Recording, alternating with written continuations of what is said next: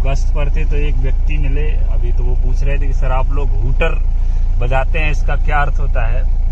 मैं ये बताना चाहता हूँ कि हूटर को अगर हम समझे उसको भाषा में तो ये अर्थ होता है कि मैं जाग रहा हूँ हूँ हूँ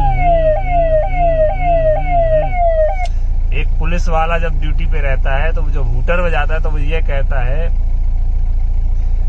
कि मैं ड्यूटी पर तैनात हूँ हूँ हूँ हूँ हूँ। और जब कोई चोर बदमाश के लिए पुलिस वाला बजाता है, एक और हुटर बजता है, वो इस तरह से बजता है कि वो जैसे गुर्राता है ना शेर, उस तरह से कि, बदमाशो, मैं तुम्हें पकड़ने के लिए तैयार हूँ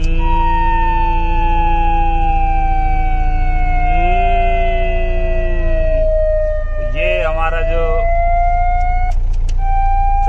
रहता है हुटर का मतलब अलर्ट करने के लिए रहता है और रात्रि गश्त में हम लोग हुटर बजाकर गश्त करते हैं और कोई जो बदमाश मिलता है उसकी चेकिंग करते हैं। हालाँकि अभी कोहरा है तो कोई मिला नहीं है और इस कोहरे पे कोई यदि व्यक्ति निकलता भी है तो सावधानी से वाहन चलाए। बहुत ही शीतलहर है, ठंड है कोहरा है और जय हिंद, जय भारत।